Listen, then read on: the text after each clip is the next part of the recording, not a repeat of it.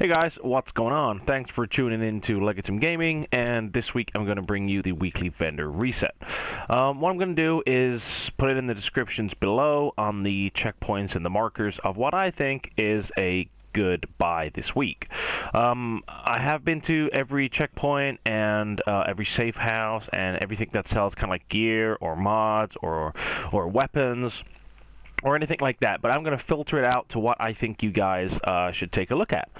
All right, so we're going to start off in the uh, advanced weaponry vendor. Um, I don't really think there's too much here other than the uh, tactical SASG. So we're looking at Fierce, ferocious and responsive. Now, now this is not a uh, good weapon for those that are running high firearms, as you won't be able to get the fierce and the ferocious talents. Now, if you're running like a hybrid uh, build, so I made a video a couple weeks back with a three-piece tactician, three-piece high-end, this would be perfect for that. So if you're running a high uh, hybrid electrics and DPS fierce, ferocious, and responsive. That's a great tactical SASG. Um, if you did want to focus solely on PvP, you could take out the ferocious, um, and then you could put maybe like deadly or, or uh, brutal or something like that uh, in there. So I'll leave that one up to you. Um, the rest of what's in here, I don't think you guys should take too much. Uh, the high velocity magazine is pretty good. Um, the problem is that they're not focusing too much on that, so that's not too good. All right. All right, let's check out the special equipment vendor. This week they have the Pakhan, Centurion, Liberator, Historian, the Cassidy, etc., etc. Um, now I'll have a quick look through these. I'll go pretty slow so you guys can check them out. Um, the Pakhan looks pretty okay with the uh, Ferocious and Vicious, but again, depending on your PvP, PvE build, it's entirely up to you. So I'll let you guys um, take a look through this. Og is no good. AK-47. Um, AK-47's okay. So you got Vicious in the third slot, which is pretty good. Deadly in the second. And the first uh, slot, you got Swift. So you can just swap out Swift for whatever you want to uh, complete your build. So that's, that's a pretty good one.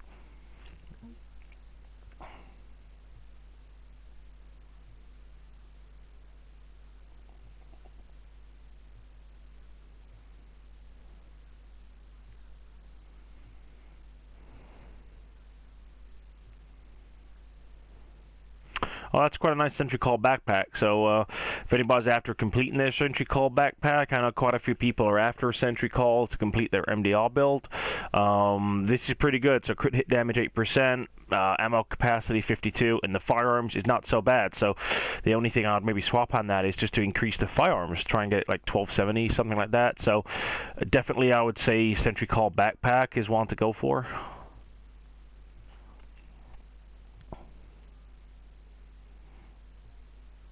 Banshee. I know quite a lot of people are after Banshee recently. There's quite a quite a few videos online with Banshee and how it's going to be um, the build to go for in 1.6.1. So with almost max firearms at 1260 and uh, max crit hit damage, this actually looks uh, pretty nice. So I would definitely uh, definitely get that.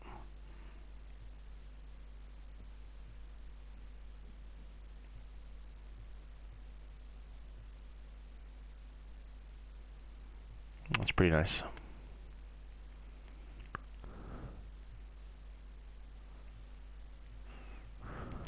All right. We then go and have a look at the blueprint vendor again just double check um, check this out for sure because uh, what I already have will not show up on this. So definitely always worth checking the special blueprint vendor just to check what there is. So um, I might already have something that's just came out so it won't uh, allow me to see that or view that again. So I would highly recommend um, whichever video you guys watch definitely to always check the special blueprint vendor. That's uh, you got to do that. Um, but this week doesn't seem too good so fire up knee pad Blueprint, um, Firearms Vest, Classic uh, FAL. It's these are all 229. It, it's not too good this week, uh, in my opinion. Now, there was an SVD blueprint, I heard, but again, I've, I've already got that, so that won't show up. Um, so definitely go check that out, guys. And there is a God Roll uh, SASG. So, Black Market SASG, Stagger 338 with Fierce, Responsive, and Deadly. So that is a god roll, guys. So I know a lot of people were after the SASG, um, or if you're still looking, definitely head over to the meat locker. Then we head over to the uh, cavern, and I'm pretty pleased with finding one of these. So we have the prototype electronics mod, which is with the uh, electronics, and major attribute is skill haste. So that's pretty good. Again, I've been seeing quite a few builds about having like 40%, 50% max or skill haste, uh, and people popping their pulses, their boosters, uh, and getting them back. So this got this will help you guys. Alright, we then head over to the ward and we have a nice electronics uh, skill mod with uh, health as the major. So you guys can check that out. That boosts my stats up majorly. That's definitely one to pick up. That's at the ward. The Southport safe house, they have um, what I hate, but I got to show you it, guys. Prototype Performance Mod Seeker Mine Damage. Now, I know these are getting nerfed in 1.6.1, uh, but those guys who are not on the PTS and want to have a little bit of fun before the update, take a look at these 3.5% Seeker Mine Damage. So they're not uh, totally maxed. The max is 4. Um, but these are pretty close, so check these out if you want to have a little bit of fun before uh, the update. At West 31 this week, they have the Black Market AK-74, which is um, almost a god roll. So we got 20% enemy armor damage, prepared, deadly, and unforgiving. So depending on the talents you like and you prefer, uh, this is a really good gun, and I would definitely recommend you guys picking this up.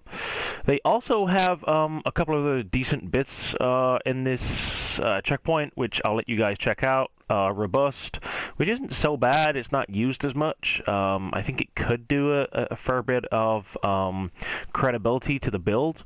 Uh, firearms mod, 1% crit hit chance, and then um, the quick release magazine, which is not so good. So definitely check out uh, West 31 Checkpoint and uh, specifically the Black Market AK-74. If you make your way to West 42nd, they have a nice um, performance mod, which is the support station healing speed. So uh, I'm a big fan of kind of like a healer in a team. Uh, I'm actually making a video at this moment about a final measure uh, healer build. So I've, I've, definitely just picked up a couple of these. Um, these this is a, a, really nice mod to have. Support station healing speed.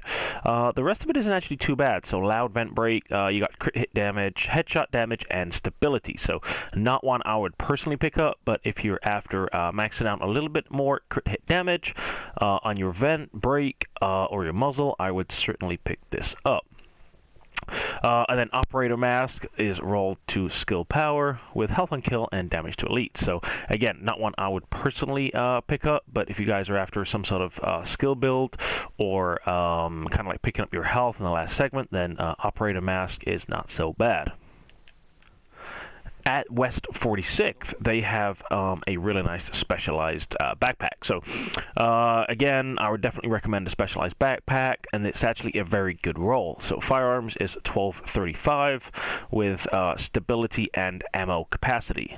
Now, the only thing you'd probably have to change is stability and put whatever else you want on there, whether that's health or skill, crit hit, whatever you want to put on there. So, uh, that's definitely one to pick up this week, guys.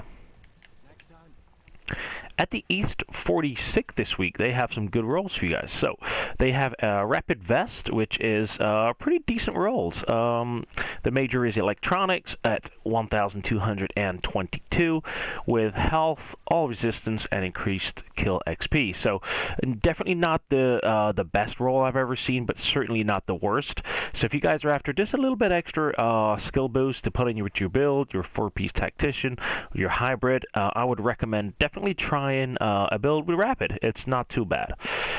Stamina mod is not too bad this week, so major is health, with uh, health again as the major, so you can just bump up your stats pretty much with that. And then we have um, a sight, which is 6% headshot damage, 4% critical hit damage, and 3% critical hit chance. So by far, uh, the place with the most um, valuable uh, assets this week is the East 46th uh, checkpoint. So come check this out this week, guys. This week at the East 42nd, he is selling you uh, a surplus SVD, which uh, is not too good, so I won't go over that too much as we have the blueprint at the base. Um, however, it has balanced, meticulous, and disciplined, so not too great. However, the headshot damage is good. So if you're after one uh, and you don't have enough credits to get the blueprint, I would certainly uh, recommend buying this one. Uh, they then have uh, skill uh, electronics mod roll to skill with skill haste. So again, uh, we've seen a couple of these so far this week. I'm certainly picking up some of these. That is a good roll at the East 40th this week, they have one thing which I think you guys might be interested in, um, and that's the prototype performance mod. So it's a sticky bomb damage. Now, I remember uh, back in the day, I think it was like 1.3 when it was the sticky bomb was the build to have, and you could kind of like kill four or five people around a rope. Uh, those were the days. Now, it's certainly not a viable uh, build right now to have. However, um, I would I would recommend getting this and just sort of keeping it maybe in your stash because I got a feeling they're gonna um, buff the sticky bomb just to kind of make it um, a bit more viable. Like you can't really use that uh, as such now, but definitely uh, one to reminisce on on the old days. This week on the East 58th, uh, they have, now this is the uh, question you guys got to have, is they have a nimble holster. Now, some people are saying, um, will it not be good in 1.6.1? Will it still be effective? Now, the only difference is it's a heal over time of like four seconds and you got to stay in the cover. Now, I've not really used nimble as such, but if you guys want to uh, sort of check this out, it's not a bad roll. Stamina, 1233 is the main, and then crit hit chance is the major. So it's not a bad roll if you're after a nimble uh, holster, sort of, um, and you don't know where to get one. I would recommend getting this one.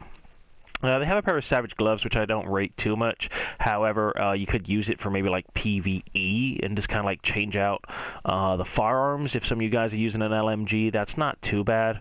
Um, and they haven't got anything else that I sort of rate in here. Prosperous. Um, well, prosperous maybe for PVE actually. So um, the only problem is it's, it's kind of rolled to skill. Um, you could change that up, but my guess is as a miner you'd want uh, damage to elites if you're running it for PVE. So you guys just kind of like gotta spin up and see what you prefer, whether that's firearms or uh, damage to elites on that technical um, pack I don't rate too much. Operator vest robust is not really used as much because the idea is if you're running PvP, you don't sort of run in cover as such. It's more like a gunfight one-on-one, so that's not a, a, vest which is used too much.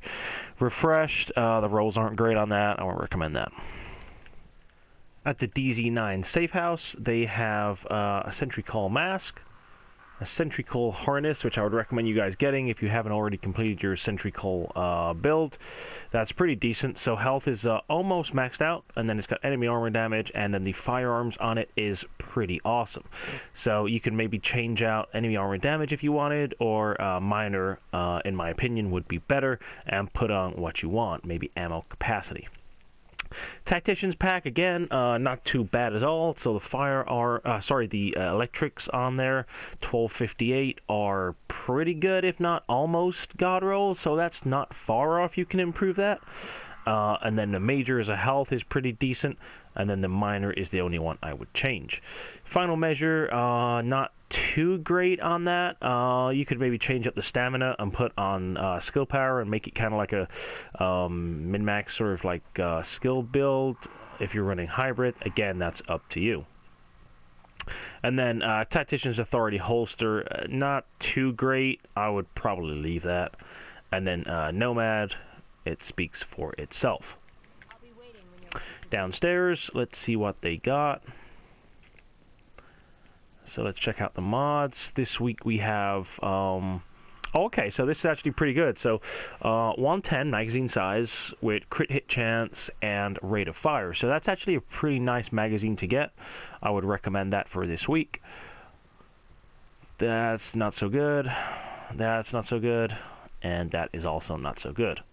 Okay, and last but not least, in the DZ2 um, safe room, they have a accomplished um, knee pads, which I think might be good for you guys who do PVE. Rewards from accolades are tripled. So if you're trying to get uh, get the extra XP or get um, towards maybe kind of like caches or something like that, then these are certainly pretty decent for that build. Um, relative skill power, major is all resistance, and then you've got the minor shock resistance, uh, disorient, and blind and death below.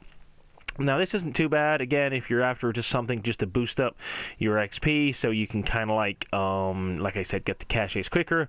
I would recommend these. Um, what else is in here? Again, not too great. Uh, rehabilitated mask, a forceful vest. Steadfast and astute gloves.